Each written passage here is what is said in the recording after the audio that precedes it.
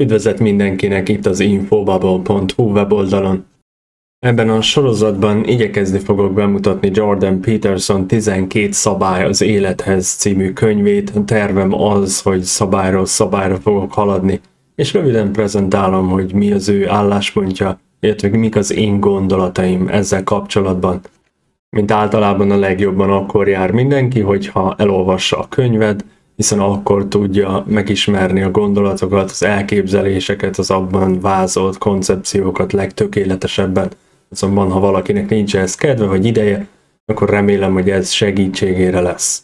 Mielőtt nekivágnánk ennek, megkérnék mindenkit arra, hogy lájkoljátok, illetve osszátok meg tartalmainkat, melyeket megtalálhattok Infobubble, illetve Yahoo útja néven a TikTokon, Instagramon, Youtube-on, Facebookon, valamint weboldalainkon, és ha hasznosnak, értékesnek találjátok munkánkat, akkor támogassátok azt, köszönöm azoknak, akik ezt megtették eddig. Halleluja! De haladjunk tovább, a rend nem elég. Nem lehetünk egyszerűen állandóságban, biztonságban, változatlanságban, mert mindig vannak létfontosságú, jelentőségteljes új dolgok, amiket meg kell tanulnunk, pontosan úgy, ahogy elmagyaráztam. Ugyanakkor a káosz is lehet túl sok, és ezt észben kell tartanunk. Nem bírjuk hosszú ideig elviselni a túlterheltséget, amikor azt tanuljuk, amit még meg kell értenünk. Így az egyik lábunkat meg kell vetnünk abban, amit már elsajátítottunk és megértettünk, a másikat pedig abban, amit jelenleg felfedezünk és tanulunk. Ilyenkor olyan ponton helyezkedünk el, ahol a létezés rémülete ellenőrzés alatt van, és biztonságban érezzük magunkat, ugyanakkor éberek és elfoglaltak vagyunk. Itt találunk új tanulnivalót és lehetőséget fejlődése, itt lennünk értelemre. Én ugyanarra szeretnék sarkalni mindenkit, amire ő, és azt hiszem, hogy ezt is tettem az évek során. Vállalnunk kell bizonyos kockázatokat, ki kell lépnünk a komfortzónánkból, különben nem tudunk az atyának hasznosak lenni. És én tisztában vagyok azzal, hogy ez bátorságot igényel, meg az emberek ismernie kell önmagát, a saját képességeit, nyilván összhangban kell lennie az atyával, ettől függetlenül egy ponton mindig olyat kíván az atya, ami arra kényszerít minket, hogy ahogyan az Indiana Jones filmben ellépjünk az oroszlán fejétől annak ellenére, hogy nem látjuk, hogy ott van az a híd. Csak tudjuk, hogy majd ő segít nekünk, de az a célja, hogy fejleszem minket, és jobbá tegyen minket az ő saját céljaira. A másik oldalon azonban nem hagyhatjuk el mindazt, amit már megtanított nekünk és megmutatott nekünk, és egyértelműsített, mint az ő elvárását, az pedig az ő tórája, az ő instrukciói meg kell maradnunk az azok által kijelölt úton úgy, hogy nagyjából használni tudjuk a megszerzett világi tudásunkat is. De kénytelenek vagyunk kilépni a sötétségbe, az ismeretlenbe, a káoszba, annak érdekében, hogy fejlődni tudjunk, és jobb eszközei lehessünk neki a jövőbe.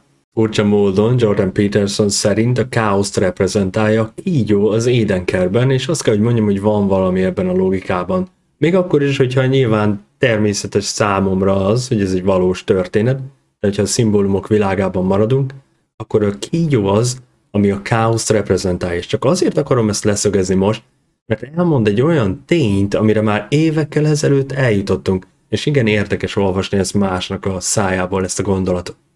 Az elképzelhető legrosszabb kígyó, írja Peterson, az ember örök hajlama a rosszra az elképzelhető legrosszabb kígyó pszichológiai, spirituális, személyes és belső. Nincs olyan magas fal, amely kint tudná tartani, még ha kellően vastag lenne is az erődünk fala. Hogy minden rosszat kint tartson, akkor is azonnal megjelenne odabe. Egyszerűen képtelenség a minket körül ölelő valóság egy részét falakkal elhatárolni, és belül mindent tartósan kiszámíthatóvá és biztonságossá tenni, akármilyen gondosan zárjuk ki, végül valami mindig be fog szivárogni belőle. Erről szól az ellenség közöttünk sorozat, amely lehet, hogy most már 6-7 éves. Metaforikus értelemben a kígyó megjelenése elkerülhetetlen. Még a legkitartóbb szülők sem tudják mindentől megóvni gyermeküket, akkor sem, ha bezárják őket az alaksorba, biztos távolságra a drogoktól, az alkoholtól, az internetes pornótól, Ebben az extrém esetben túlságosan elővigyázatos, túlságosan védelmező szülő egyszerűen önmagával helyettesíti az élet többi szörnyű problémáját. Visszatérvén a párkapcsolatra, a férfinő kapcsolatra, vagy akár a házasságra egy pillanatra, A két ember, a férfi és a nő egymáshoz van láncolva a házasság kötelékében.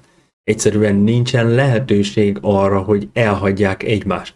És ez az, ahogyan nekünk hozzá kellene ehhez állni. Már a kiválasztási folyamat is akkor másként zajlana, mert sokkal körültekintőbbek lennének az emberek, de amikor már benne van két ember a házasságban, nincsen semmi más, és ezt kellene megértenie mindenkinek, nincsen semmi más, ami összetartaná őket, mint az, hogy az ő elméjükben ők úgy állnak hozzá, hogy ezt nem lehet elválasztani. És akkor tudnának együttműködni problémamentesen, és mindezeket a kihívásokat leküzdeni. Bízni egymásban, hogy ez a nő vagy ez a férfi nem fog engem elhagyni, hogyha nehézre fordul a helyzet, hogyha beteg leszek, ha szegények leszünk, hogy bármi negatív történik velünk, hanem mi együtt fogunk maradni örökké.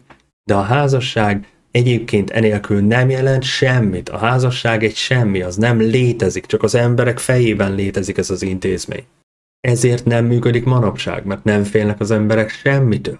Amennyiben a teljes videót szeretnétek látni, az infobubble.hu, illetve a yahuautya.hu weboldalainkon ez elérhető. Amennyiben adótok 1%-ával támogatnátok munkánkat, megtehetitek a Yahoo útja egyesületen keresztül, technikai számunk 2594, minden egyéb adatot megtaláltok Infobubble, illetve Yahoo útja weboldalainkon, valamint ennek a videónak az információs sávjában, és köszönjük azoknak, akik ezt megtették eddig. Köszönöm mindenkinek a figyelmet, remélem hasznosnak találtátok ezt a videót, hamarosan találkozunk, addig is minden jót és halleluja!